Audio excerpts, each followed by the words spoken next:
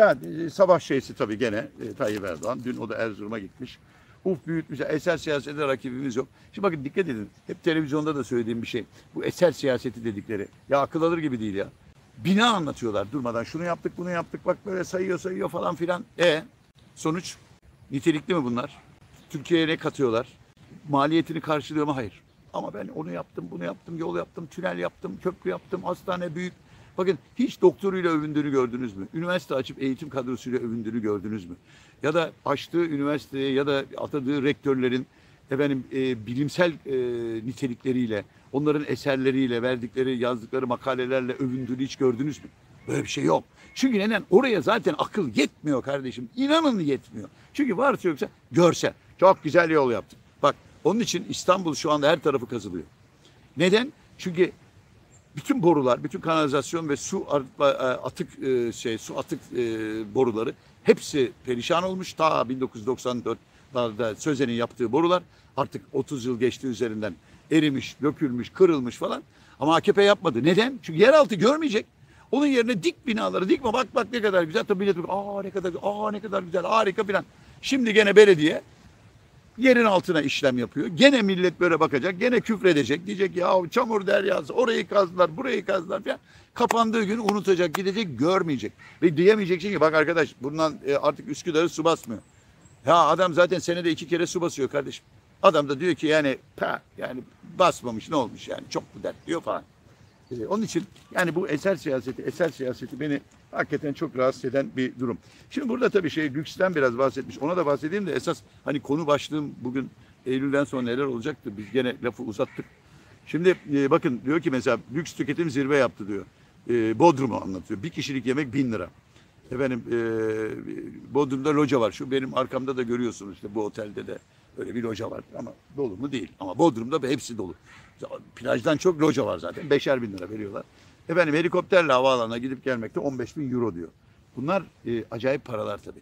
Fakat dikkat edin bakın hep aynı yerde. Şimdi orada marina var, Yalıkavak. O Yalıkavak marinasını biliyorsunuz Mehmet Ağarlar filan. E, başkaları çökmesin, mafya çökmesin diye. Onlar çökmüşlerdi. O çevrede anladığımız kadarıyla işte bütün bu lüks ve ihtişam bir tür e, rüşvet olarak kullanılmış. İşte gazeteciler ağırlanmışlar. İşte onlar aracılıklar yapıyorlar. 10 milyonlar, 100 milyonlar böyle havalarda uçuşuyor falan.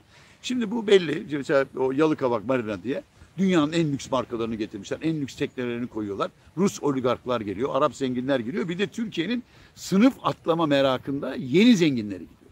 Yani sınıf atlamış da ama hak etmemiş de onlar gidiyorlar. Şimdi yeni bir yer açılıyor orada. Sahara mı? Ben öyle bir şey her neyse şimdi adını da söyleyip hemen dava ederler biliyorsunuz. Vay be. Ya çay 380 lira. Yani herhalde çayı potla getiriyor. Yani iki tane de servis yapıyor. 580 lira çay diyor. İşte e, karidesler, kalamarlar e, ama senin boğazda yediğin gibi değil yani. E, çok daha lüks şeyler böyle. Ahtapotların en lüks yapımı. Efendim e, ıstakozlar, okyanus balıkları, kuzey denizi balıkları, e, dev balıklar, şunlar bunlar falan.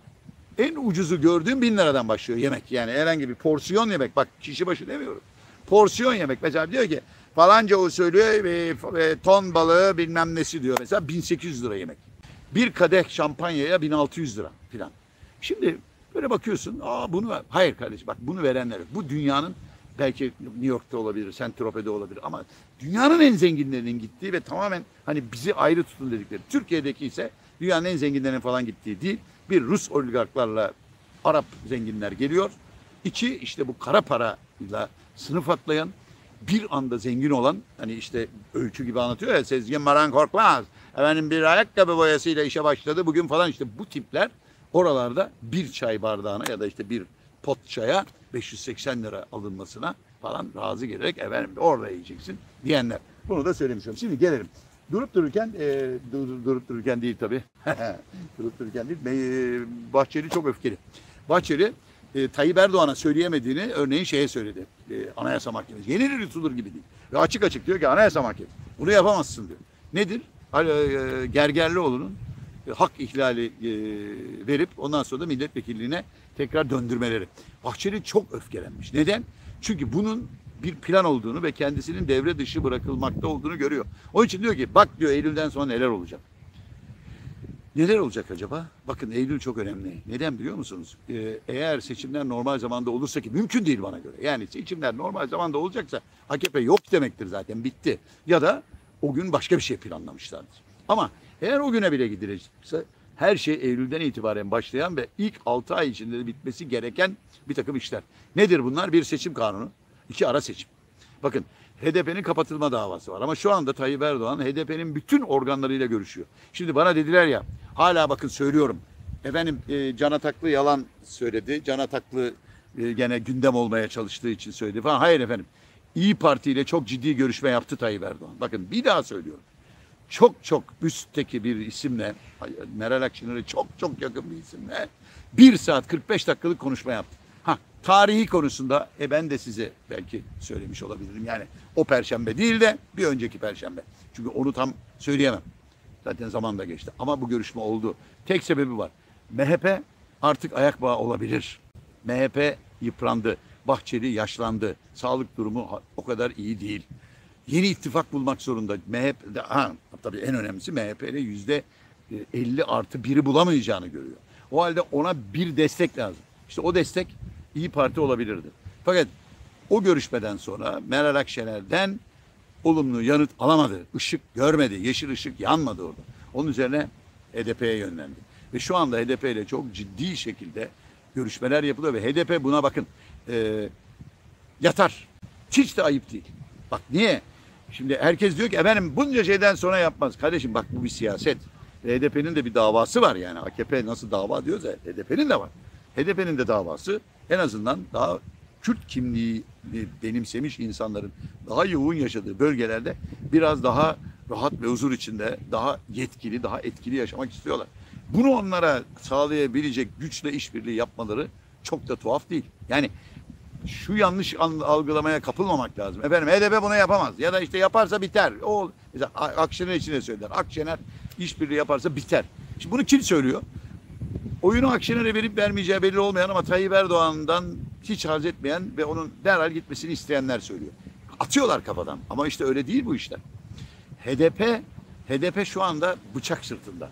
Tayyip Erdoğan'a bakar. Talim verir talimatı kapat der kapatır. Fakat şu anda benim gördüğüm kadarıyla HDP ile ilişki daha iyiye gidebilir. Gergerlioğlu'nun serbest bırakılması ve sonra da meclise tekrar geri dönmesi bence bunun işareti. Yani bunu Anayasa Mahkemesi bana kimse inandıramaz. Tayyip Erdoğan'dan herhangi bir onay ya da izin almadan böyle bir şey yapmış olmaları mümkün değil. Bu çok açık ki yani HDP ile bir adım atılacak. Bak arkadaş ben adımımı attım şimdi sen gel. Bu ikinci adım ne? Kapatma davasında kapatma demek. Üçüncü adım Demirtaş'ı serbest bırakmak. Fakat bütün bunların bütün bunların geleceğe dönük işbirliğini yerine oturtması için Eylül'den itibaren 6 ay içinde bitmesi gerekiyor. Sebebi çok basit. Sebebi çok basit. Çünkü ondan sonra yapılacak bir takım işlemler ya da yeni alınacak kararlar ve uygulamalar seçimden bir yıl öncesinden itibaren yürürlükte olması gerekiyor. Örneğin bir eee, seçim sistemi değişikliği olabilir. Bak bugün mesela eee, şey Uğur Dündar şeyle konuşmuş. Aytun Çıray'la. Aytun Çıray diyor ki seçim kanunlarıyla oynamak iktidarın gidici olduğunu. Tamam gidici olduğunu gösterir ama eğer o kanun değişikliğini hallederse de kalıcı olur. Turgut Özal iki seçim kazandı böyle son dakikada bir yıla kala böyle hop değiştirdi şeyleri. Yok tercihli dedi. Yok efendim burada e, bir şey dedi hani o e, yani listeye birini koyuyorsun kontenjan dedi. Oralardan falan yani çünkü çok kazan alacağı yerlerden bir tane de kontenjan koyuyordu. Hepsini alan onu da alıyordu falan. Yani sonuçta seçim kanunuyla oynamak evet seçimi kazanamayacağı endişesinden kaynaklanır ama halledebilirse de seçimi kazanıyorlar ya da öne geçiyorlar. İşte bunun için önümüzde Eylül'den itibaren e, 6 aylık bir süre var. O işte HDP kapatılacaksa o süre içinde kapatılacak ki ara seçime gidilebilsin. Bir ara seçim yapıp belki de bir referandum gibi bir şey görecek. Seçim kanununda HDP ile ya da HDP'siz ya da İyi Parti ile ya da başka partilerle MHP ile bir değişiklik yapılacaksa anayasaya da e, sirayet edecek bir değişiklik yapılacaksa onu da bir yıl önceden yani Eylül'den itibaren 6 ay içinde yapması gerekiyor. Aksi takdirde iş... Ha şimdi Bahçeli çok öfkeli. Peki Bahçeli ne yapabilir? Şu anda Bahçeli kılını kıpırdatamaz. Ama diğerleriyle anlaşamazsan yanarsın o zaman ben de karşı tarafa geçerim diye bir tehdit unsuru olabilir Bahçeli. Ve belki de buna oynayacak. Onun için Eylül'den itibaren eee, ha neden Eylül tabii? Yani şu anda işte parlamento böyle gider ama hani Eylül, Ekim'e doğru bir tatil yapacaklar herhalde. Zaten Ekim'e kadar geçecek süre içinde işler kotarılır. Ekim'den itibaren start verilir her şeye ve işte Şubat, Mart sonuna kadar her şeyin bitmesi gerekiyor. Onun için Eylül ayıdan itibaren çok risklidir. Ha, zaten bütün göstergelerde onu yani pandemi dahil, ekonomik kriz dahil, enflasyonun artması, doların ya da dövizin patlaması dahil herkeste Eylül beklentisi var doğal. Şimdi tatil, 9 gün tatil. Ondan sonra bir yaz rehaveti falan. E, Ağustos bitecek, Eylül'den itibaren olacak bunlar.